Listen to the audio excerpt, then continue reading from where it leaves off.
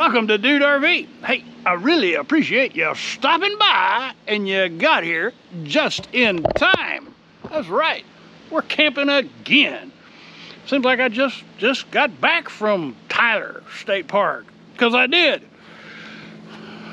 Got back, unloaded the truck, reloaded the truck, picked up Trudy Thunder and hit the road again. We have traveled far and wide. We're north of Paris. Visited here a couple years ago and I just had to come back. And actually, we were supposed to be here two months ago, back at the beginning of spring, and I had to push it out twice. But we're here. We're at Pat Mayse West, Pat Mayse Lake.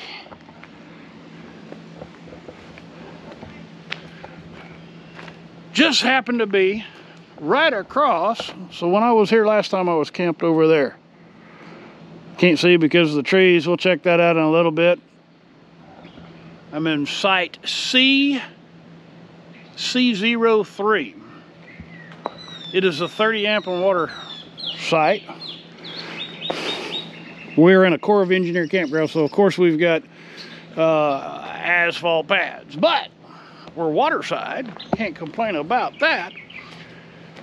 One of the challenges of traveling with a, a larger RV is, as you know, getting level and picking sites from pictures and videos doesn't always work out like you expect, as is the case here. it is most unlevel. Good thing I'm carrying lots of blocks and chalks. You see, we're, what, one, two, three, four, five, six layers of blocks up. And we're pretty well maxed out on the hydraulic leveling system. But we're level. As I said, 30. Fortunately, I've got the soft start units installed, so I'm running both air conditioners, and Lord knows we need it. The Yappy's gonna be able to walk underneath this, almost. That's how high off the, the ground we are. Have Starlink. I know there's a lot of y'all that are following my Starlink journey. This is not a perfect site for Starlink because of the trees are blocking it. I could put it up on the back of the coach, but the trees would still be blocking it. I don't have enough cordage cable to get it out there where it needs to be. But it's working. I mean, I was watching YouTube videos as I was getting it set up. There's a cell tower right on the other side of the lake. So we're boosting that we have connectivity. Yappy's, Yappy's to be working remote tomorrow. So our site is kind of weird. The fire pit's way back over there. Charcoal cooker is here. Concrete picnic table. And we're to be camping in style. We've got a lantern hook. And whatever those are. It looks like they moved. So I'm to finalize the setup and deploy Little Red, I'm gonna deploy the boat. This was the, the location where I decided I was real I was gonna get a boat because when I was here last, the lake was way up. And all of these reeds and bushes were in the water. I was in that site right there and I couldn't fish because, and you still can't fish because the reeds are obscuring the water, but the fish were just jumping like crazy in this little cove. So we're gonna deploy bobber and see if we can catch some fish, play on the scooter, I've already done a scooter tour, but I'll, I'll do another one because they're fun. Oh, and by the way, I did fix Little Red, and I'll show you that repair when I when I get it deployed. All right, stay tuned. More to come. It's still spring, so they tell me, but it sure doesn't feel like spring. There's one one thing about Pat Mayse West that I didn't remember. And that is how rough the roads are. it's hard on Little Red, but it's just as pretty as I, I remember. I got bobber in the water down there, right there. Paddled around Looks like the sand bass are still running. Uh, so maybe in a little bit when it cools down, we'll see if we can catch some sand bass. Meanwhile, Karen and Bob, it was sure a pleasure meeting y'all. Thank you for stopping by and saying hello. Uh, I'm truly grateful and honored. It's hard to beat meat that's on sale. So for tonight's meal, we are having pork loin wrapped in bacon. I wonder if it was from the same pig. Hmm. Anyway, having pork loin wrapped in bacon that was on clearance. Dollar a piece. I think that's a pretty good value. You know, one of the things I really like about Pat Mayse, Pat Mayse West in particular, it is so peaceful here. There's there's no road noise. There's no planes flying overhead. It's just there's boaters. It's a it's a lake. There's going to be boaters. But all in all, it's just a really it's a peaceful place to camp. Tomorrow morning, bright and early, I'm gonna go do some fishing. And then we're gonna run around and see some stuff when it gets too hot to be sitting on bobber. Good morning. Decided to go out here, see if I could catch a fish.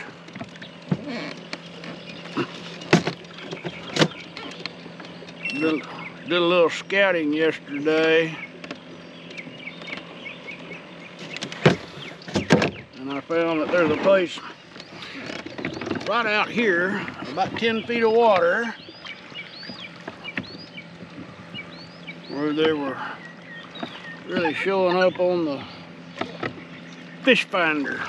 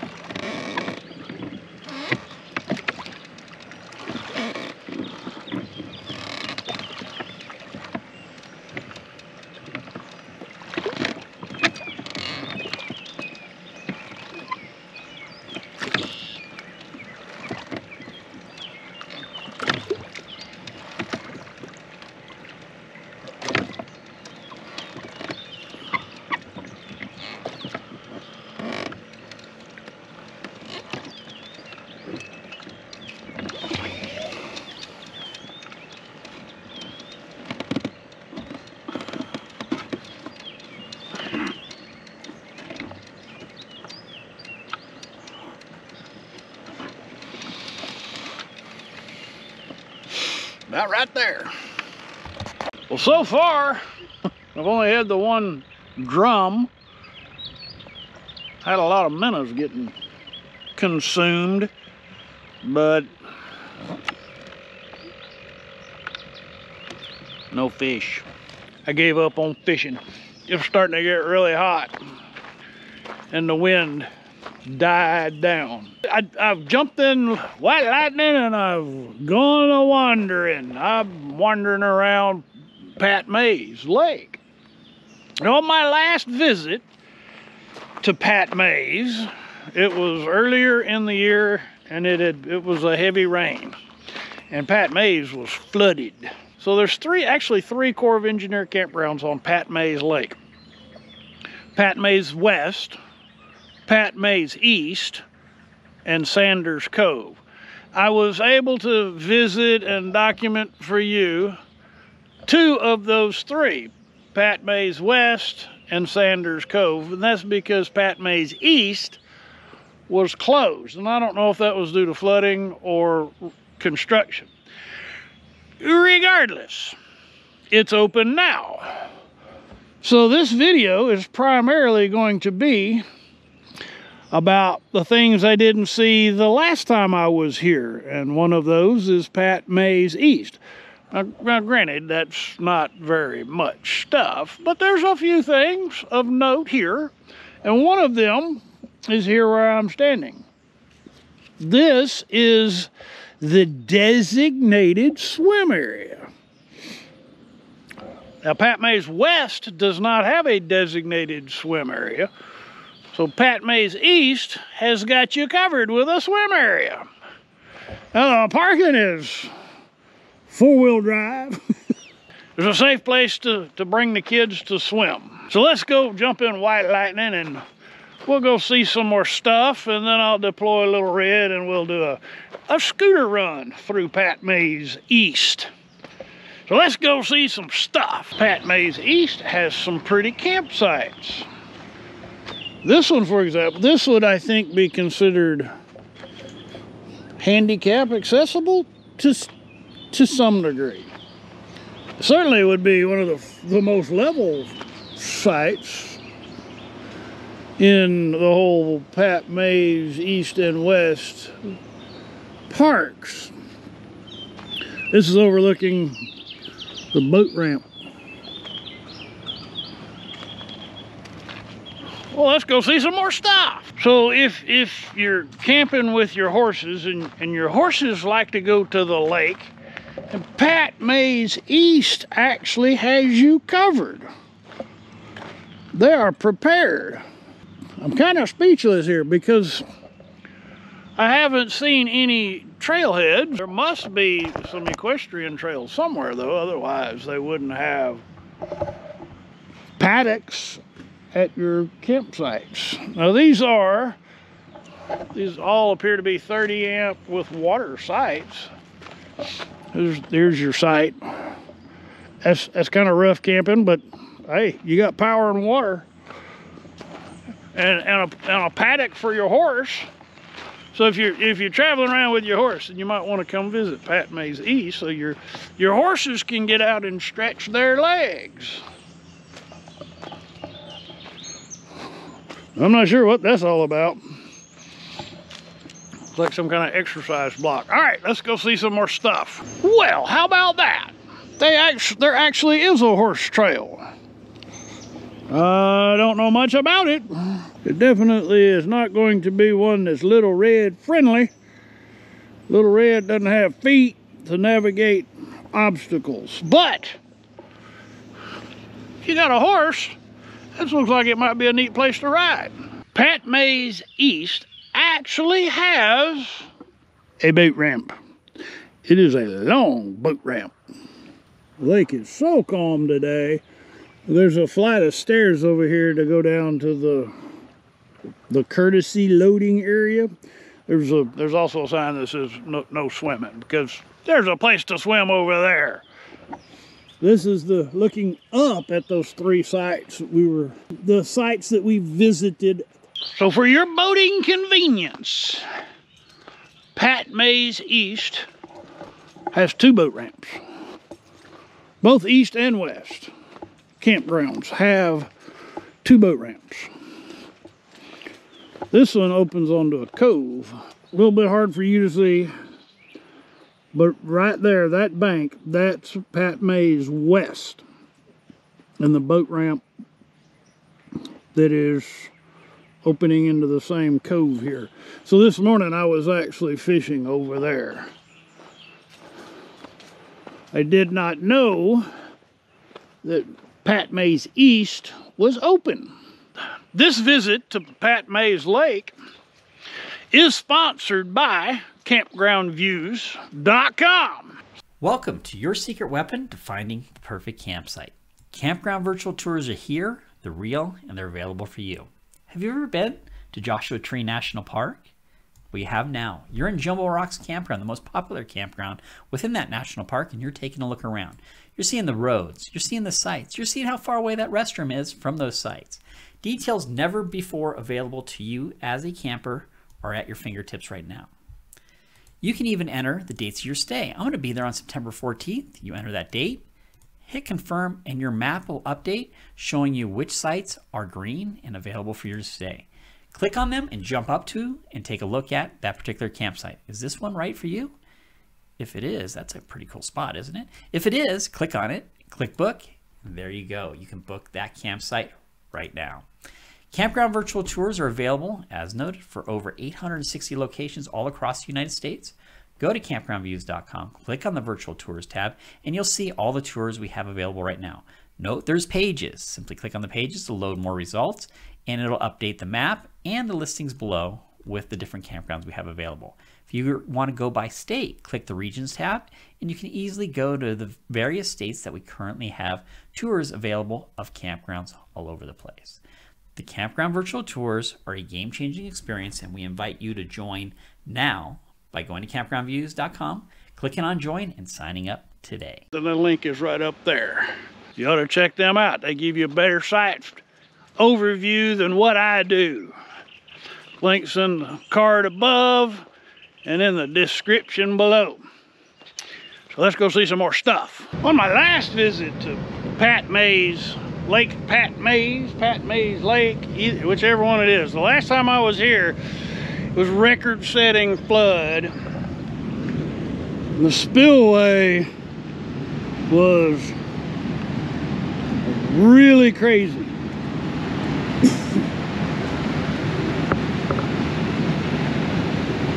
Not so much today.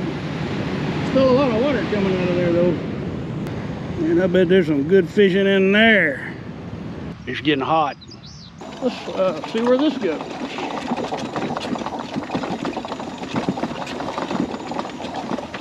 Now this sees a bit of foot traffic.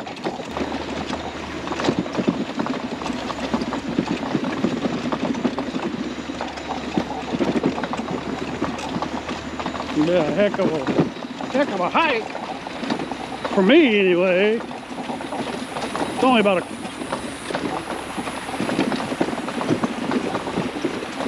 but I can see why people make that journey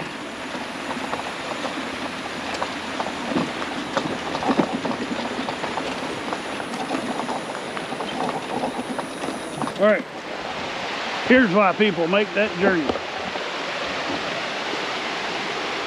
I just saw a monster catfish.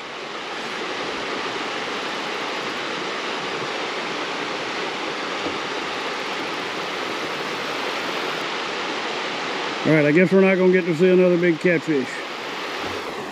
All right, I'm, I'm gonna make my way back to the truck and we'll go see if we can find some more stuff. Good morning.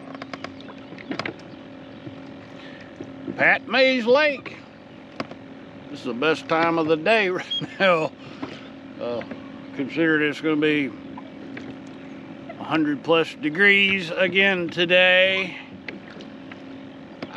sitting out here floating on the lake. Hoping to get a bite on my hook, but not really caring if I do. I'm not attached to the outcome.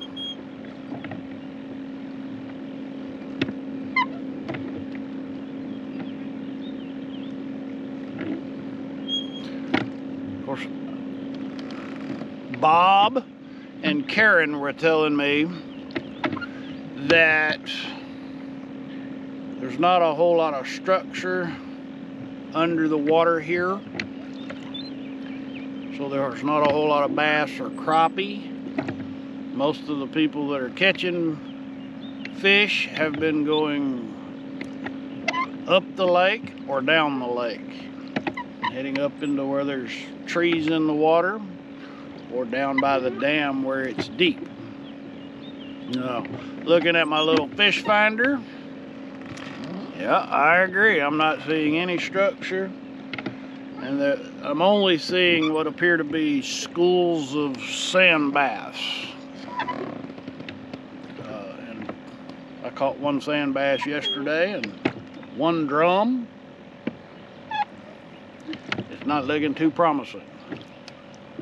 But we're going to explore a creek channel this morning just because.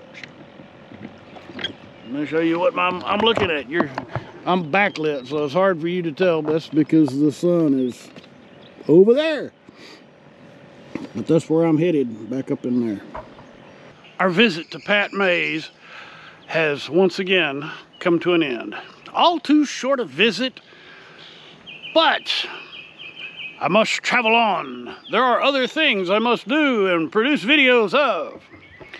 To give you a, a recap, a second a second recap for Pat Mayse. I still I, I still really love this park. Um, I think it's better in the off season uh, when it's a little more peaceful, a little more quiet. Not that it's excessively loud. There's just a lot of lot of people out here camping. Putting and because of the heat, they're putting a there's a huge load on the electrical grid. I have I've had some issues with my pedestal tripping late in the day when it gets when it's in the direct sun. I don't know if that's because the coach is at its hot. I don't know. I'm I don't know. I think it's a bad breaker because I had it tripped on me yesterday with just one air conditioning unit and a fan. Uh, that was late in the afternoon. I wasn't in the coach, so I didn't have both AC units running. I had a, had a fan outside and one unit inside, and it tripped. So I'm, I'm thinking that the breaker has been abused. and seeing the people that have set up camp on on on my other side of my RV, so the neighbors that I had roll in yesterday, uh, they deployed uh, a window unit, a big window unit for a tent. They have a, a air conditioner running on the RV, and there's uh, more. Every plug is utilized on the pedestal and they have this full kitchen array. So, so the people that come out here on a frequent basis, they, they really set up camp.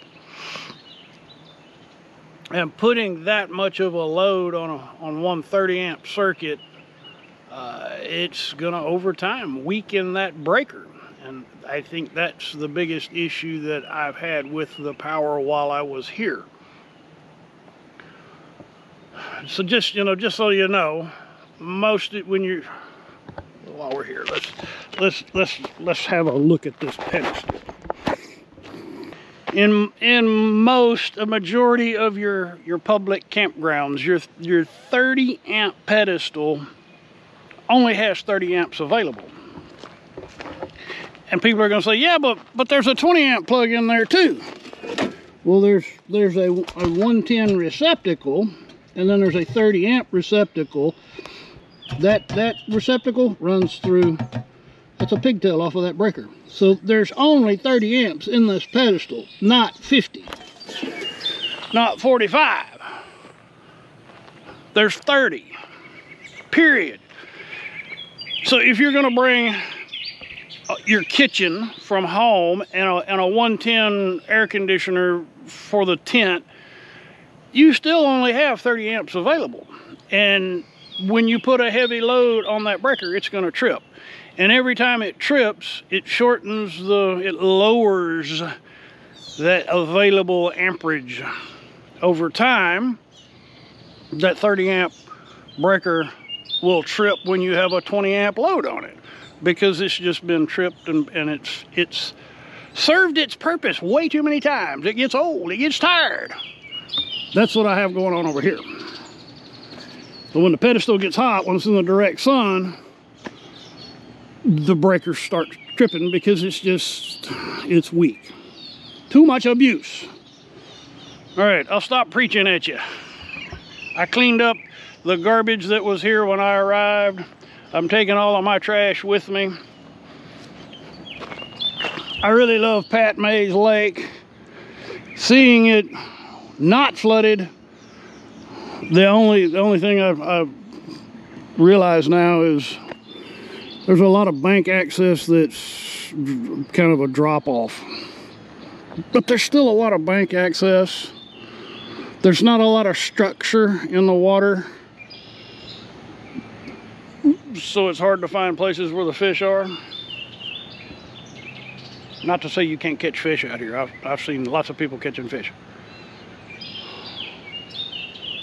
I like Pat Mayse East. I really, I really like the fact that they have uh, equestrian. I don't have a horse, but I have friends with horses. So you guys, now you know there's an equestrian campground over here at Pat Mayse. Bring your horses and go for a ride. So we are, we're done.